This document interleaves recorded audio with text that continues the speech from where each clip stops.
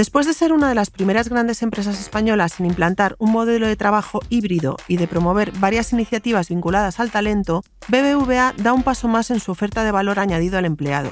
La entidad ha lanzado una campaña interna dirigida a toda la plantilla con foco en la salud física y emocional.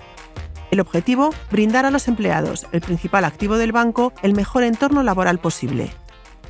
En este podcast, Araceli Morato, directora de salud laboral de BBVA, nos cuenta todos los detalles de este programa de bienestar. Mi nombre es Reyes Pariente. Comenzamos.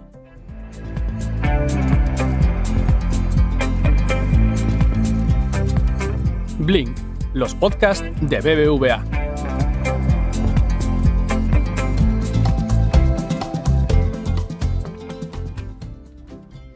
Araceli, bienvenida. Muchas gracias por acercarte a Blink. Muchas gracias, Reyes. Encantada de estar aquí con vosotros. Para comenzar, ¿cómo surge la idea del programa de bienestar? Bueno, pues como sabes, en BBVA trabajamos por un futuro mejor para las personas que integran nuestra organización, poniendo, como dice nuestro presidente Carlos Torres, al alcance de todos las oportunidades de esta nueva era.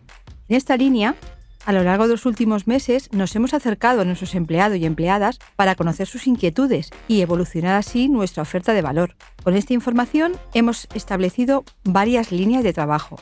Por ejemplo, el banco ha implantado el modelo definitivo de trabajo flexible, con importantes medidas de conciliación.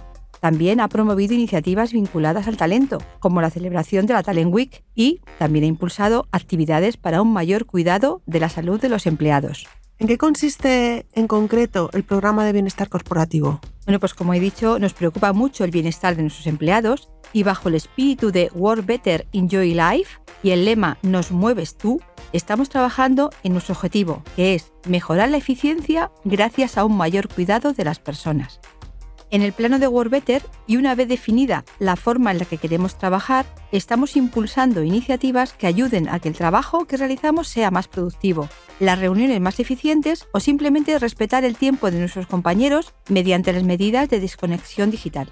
Pero también queremos ocuparnos de la salud de las personas, llevando a cabo diferentes actuaciones y las tenemos centradas en dos grandes pilares, mente y cuerpo.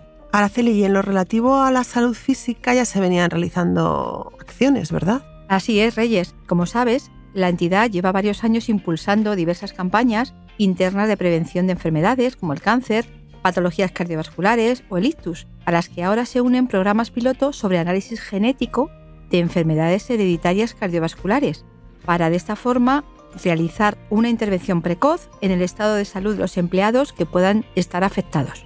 Y a todo este trabajo se une ahora la búsqueda del bienestar emocional. ¿Por qué?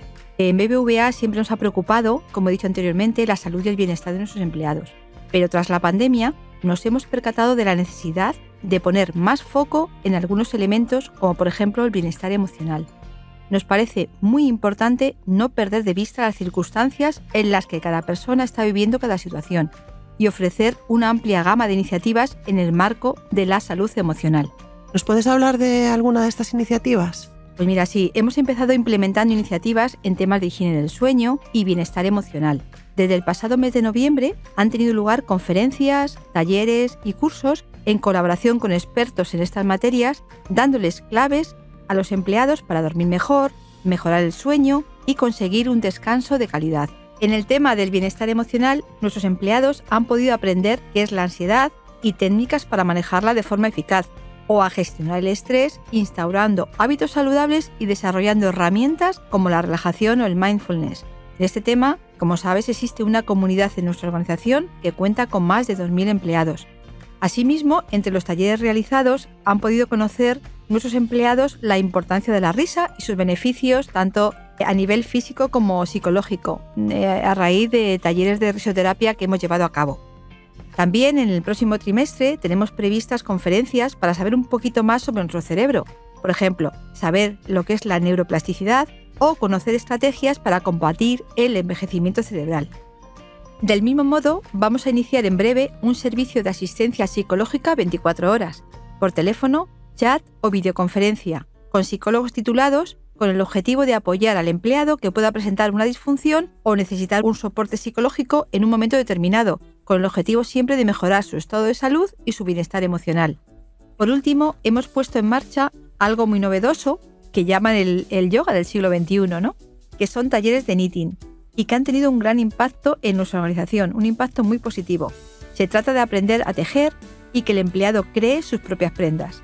Se ha comprobado que tiene efectos positivos en la autoestima, en la creatividad, ayuda a la relajación y mejora las relaciones interpersonales. Araceli, pues me voy a apuntar yo a ese taller, ¿eh? Sí, sí, pues aprender a tejer y, y, los beneficios. Pues lo vas a comprobar por los ti beneficios. misma porque, porque es un taller que ha tenido muchísima demanda y de hecho ahí tenemos lista de espera. ¿eh? Sí, sí, pues nada, apúntame que voy para allá. Muy bien. Bueno, pues con todo esto, lo que estamos, eh, con todo este programa, estamos buscando brindar a nuestros empleados el mejor entorno laboral posible, ¿eh? ya que para nosotros nuestros trabajadores son lo más importante de la organización. Pues me parece una oferta estupenda la que acabas de contar, muy, muy necesaria. Sí. Así que, bueno, pues muchísimas gracias por venir aquí a contárnosla, Araceli.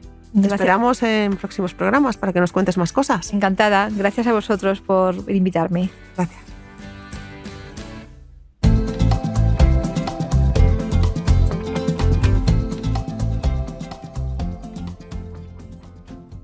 Lo dejamos aquí por hoy. Si te ha gustado este capítulo, te animamos a suscribirte y recomendar Blink en tu plataforma de podcast preferida, en redes sociales y, como no, a tus amigos. La semana que viene volvemos con un nuevo episodio en el que te hablaremos de más temas de actualidad relacionados con la economía, el mundo digital y la sostenibilidad. Te esperamos.